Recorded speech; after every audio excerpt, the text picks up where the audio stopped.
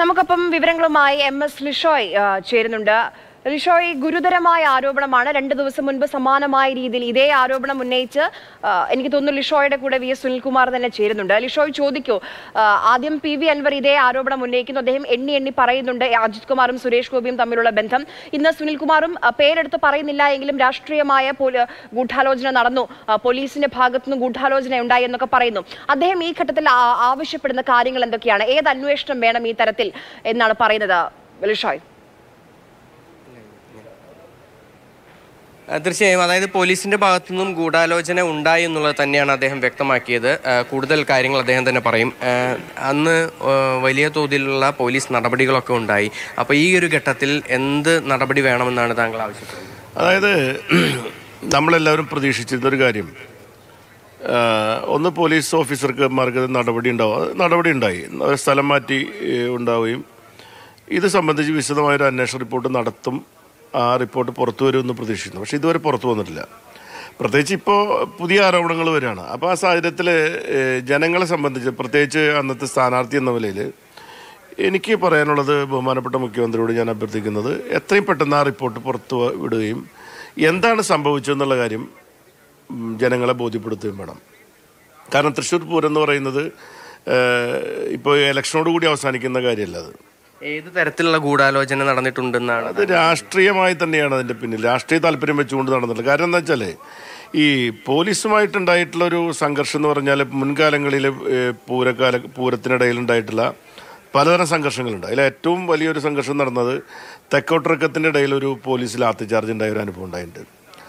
അന്ന് ദേവസ്വത്തിലെ പ്രധാനപ്പെട്ട ആൾക്കാർക്ക് അടക്കം മർദ്ദനേറ്റിട്ട് പോലും പൂരം നിർത്തിവെച്ചില്ല. മനസ്സിലായില്ലേ? അപ്പോൾ പൂരത്തിന്റെ ഒരു ചടങ്ങ് എന്ന് പറയുന്ന ലോകം മുഴുവൻ ശ്രദ്ധിച്ചുകൊണ്ടിരിക്കുന്ന ലൈവായി പൂരം കണ്ടുകൊണ്ടിരിക്കുമ്പോൾ പെട്ടെന്ന് പൂരത്തിന്റെ മേളം നിർത്തിവെപ്പിക്കുന്നു. പന്തലിന്റെ ലൈറ്റ് ഓഫ് ചെയ്യുന്നു. വെടിക്കെട്ട് നടത്തില്ല എന്ന് പറയുന്നു. ഈ മൂന്ന് കാര്യങ്ങളും അങ്ങനെ പ്രഖ്യാപിക്കുക എന്ന് പറയുന്നത് സാധാരണ നിലയിൽ നടക്കുന്ന കാര്യമല്ല.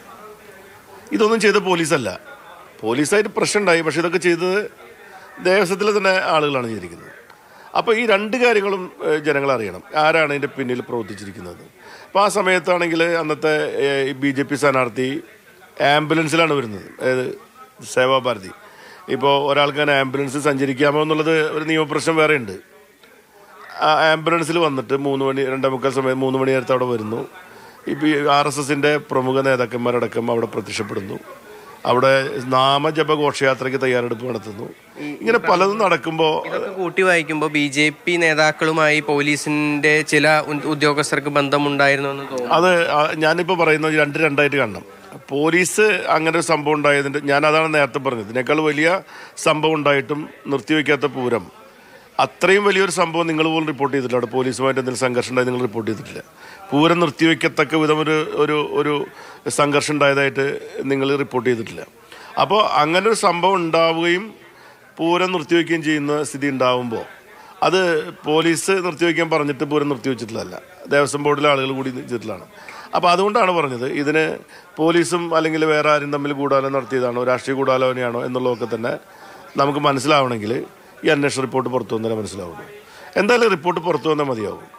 തീർച്ചയായും ഈ ഒരു റിപ്പോർട്ട് പുറത്തു വരണമെന്നൊരു ആവശ്യമാണ് നിലവിൽ വി എസ് സുനിൽകുമാർ പങ്കുവെക്കുന്നത്. കൂടാതെ തന്നെ അന്ന് ആ, പി വി അൻവർ ഉന്നയിച്ച ആരോപണങ്ങൾ ആ ആരോപണങ്ങൾ അന്നുണ്ടായ സംഭവങ്ങളുമായി ചേർത്ത് വെക്കുമ്പോൾ പല തരത്തിലുള്ള സമ്മർദ്ദങ്ങളും അതിനോടൊപ്പം തന്നെ പോലീസുമായി ബന്ധപ്പെട്ട ഗൂഢാലോചനകളും കൂടാതെ രാഷ്ട്രീയപരമായ ചില ഗൂഢാലോചനകളും എല്ലാം തന്നെ ഉണ്ടായിട്ടുണ്ട് എന്നുള്ളത് തന്നെയാണ് വി എസ് സുനിൽകുമാർ പങ്കുവെക്കുന്നത്. ശരി എം എസ് ലിഷോയാണ് വി എസ് സുനിൽകുമാറുമായി സംസാരിച്ചത്. നമ്മളിപ്പോൾ ഈ കാണുന്ന സ്ക്രീനിൽ കാണുന്ന ദൃശ്യങ്ങൾ തൃശൂർ പൂരത്തിന്റെ ദൃശ്യങ്ങളാണ്. എങ്ങനെയാണ് വളരെ പെട്ടെന്ന് കാര്യങ്ങൾ കൈവിട്ടു പോയത് എന്ന ഈ ദൃശ്യങ്ങൾ നമുക്ക് പറഞ്ഞു തരുന്നുണ്ട്. എങ്ങനെ പോലീസിന്റെ ഇടപെടൽ നല്ല രീതിയിൽ മുന്നോട്ട് പോയിക്കൊണ്ടിരുന്ന ഒരു പൂരത്തെ അലങ്കോലമാക്കിയെന്ന് നമ്മളോട് പറയുന്ന ദൃശ്യങ്ങളാണ്. തിരുവമ്പാടി തിരുവമ്പാടി ആവട്ടെ പാറമേക്കാവട്ടെ രണ്ട് ഭാഗത്തെയും ദേവസ്വങ്ങളിലെ ആളുകൾക്ക് സാറേ ഈ ആന പ്രശ്നം നടക്കില്ല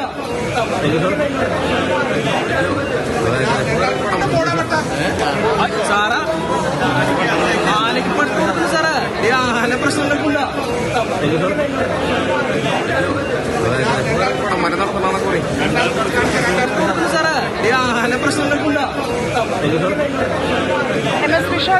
തുടരുന്നുണ്ട് വിവരങ്ങളുമായി ലിഷോയ് ആ ദിവസത്തെ പൂരത്തിന്റെ ദൃശ്യങ്ങൾ പോലീസ് ഇടപെടൽ നടത്തുന്നതും പൂരം കൈവിട്ടു പോകുന്ന ദൃശ്യങ്ങളുമാണ് നമ്മളിപ്പോൾ കണ്ടത്.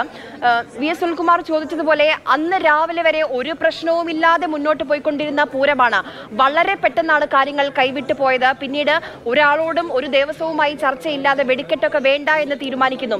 അതിന് പിന്നിൽ ആരാണ് എന്ന് അന്ന് മുതൽ തന്നെ സ്ഥാനാർത്ഥി കൂടിയാണ് അദ്ദേഹം. കാരണം അദ്ദേഹത്തിനെതിരെ ഗുരുതരമായ ആരോപണങ്ങൾ ഉയർന്നിരുന്നു. അപ്പോൾ അദ്ദേഹം അന്ന് മുതൽ തന്നെ ആവശ്യപ്പെടുന്നുണ്ട്. ഇപ്പോൾ നാല് മാസമായി ഒരു റിപ്പോർട്ട് പോലും പുറത്തുവിടാൻ എന്തുകൊണ്ടാണ് വൈകുന്നത്? ഇത്രയും പ്രധാനപ്പെട്ട ഒരു വിഷയമായിട്ട്. തീർച്ചയായും. അതായത് ഈ ഈ ഒരു റിപ്പോർട്ട് സംബന്ധിച്ച് ഇതുവരേക്കും യാതൊരു വിധത്തിലുള്ള വിവരങ്ങളൊന്നും തന്നെ പുറത്തു വന്നിട്ടില്ല. ഈ റിപ്പോർട്ട് ഏത് തരത്തിലാണ് തയ്യാറാക്കിയിരിക്കുന്നത് ആർക്ക് ഇത് സമർപ്പിച്ചിട്ടുണ്ട് എന്നുൾപ്പെടെയുള്ള കാര്യങ്ങളൊന്നും തന്നെ ഇതുവരേക്കും പുറത്തു വന്നിട്ടില്ല. അന്ന് ഒരു നിർണായകമായ തെരഞ്ഞെടുപ്പ് ഏറ്റവും പ്രധാനപ്പെട്ട കേരളം ഉറ്റുനോക്കിയിരുന്ന ഒരു മണ്ഡലം കൂടിയായിരുന്നു തൃശ്ശൂർ മണ്ഡലം. അങ്ങനെ ഒരു തെരഞ്ഞെടുപ്പ് നടക്കുന്ന പശ്ചാത്തലത്തിൽ സർക്കാരിനെ പ്രതി പ്രതിക്കൂട്ടിലാക്കിക്കൊണ്ട് ഇത്തരത്തിലൊരു പോലീസ് നടപടി ഉണ്ടാവുക എന്നുള്ളത് വലിയ തോതിൽ അത് തിരഞ്ഞെടുപ്പിനെ ഉൾപ്പെടെ ബാധിച്ച ഒരു വിഷയം തന്നെയാണ്. അതിൽ വി എസ് സുനിൽകുമാർ തന്നെ പറയുന്നുണ്ട് ആ ഒരു വിഷയത്തിൽ താൻ ഇരയാക്കപ്പെട്ടു എന്നുള്ളത്. അപ്പോൾ അങ്ങനെ എന്തുകൊണ്ട് സംഭവിച്ചു എന്നുള്ള കാര്യം വിശദമായി അന്വേഷിക്കേണ്ടത് സർക്കാരിന്റെ കൂടി ബാധ്യതയാണ്. കാരണം അക്കാര്യത്തിൽ ഏതെങ്കിലും തരത്തിലുള്ള ബാഹ്യ ഇടപെടലുകൾ ഉണ്ടായിട്ടുണ്ടോ രാഷ്ട്രീയ ഇടപെടലുകൾ ഉണ്ടായിട്ടുണ്ടോ എങ്ങനെ ആർ എസ് എസിന്റെ നേതാക്കന്മാർ അവിടേക്ക് ആ ഒരു സമയത്ത് എത്തി? അതിനോടൊപ്പം തന്നെ ഈ A D G P M R Ajith Kumar ഉൾപ്പെടെയുള്ളവർ അന്ന് അവിടെ തൃശ്ശൂരിൽ ഉണ്ടായിരുന്നു എന്നുള്ള വിവരങ്ങൾ ഉൾപ്പെടെ പുറത്തു വന്ന സാഹചര്യത്തിൽ എന്തുകൊണ്ട് അന്ന് ഈ പ്രശ്നങ്ങളൊക്കെ ഉണ്ടായ സമയത്ത് പോലും അദ്ദേഹം അതിൽ ഇടപെട്ടിരുന്നില്ല? അല്ലെങ്കിൽ മറ്റേതെങ്കിലും തരത്തിൽ എ ഡി ജി പി അതിൽ ഇടപെട്ടിരുന്നു?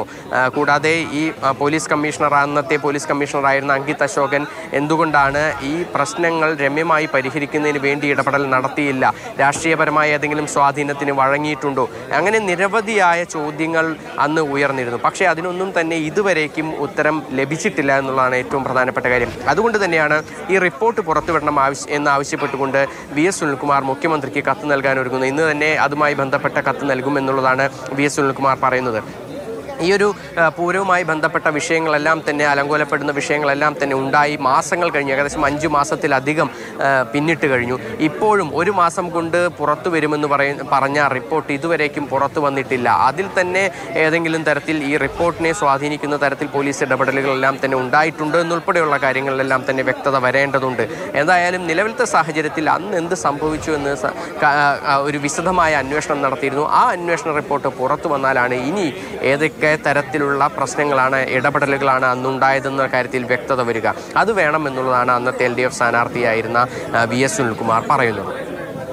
ശരി എം എസ് മിശ്രയാണ് വിവരങ്ങൾ നൽകിയത്.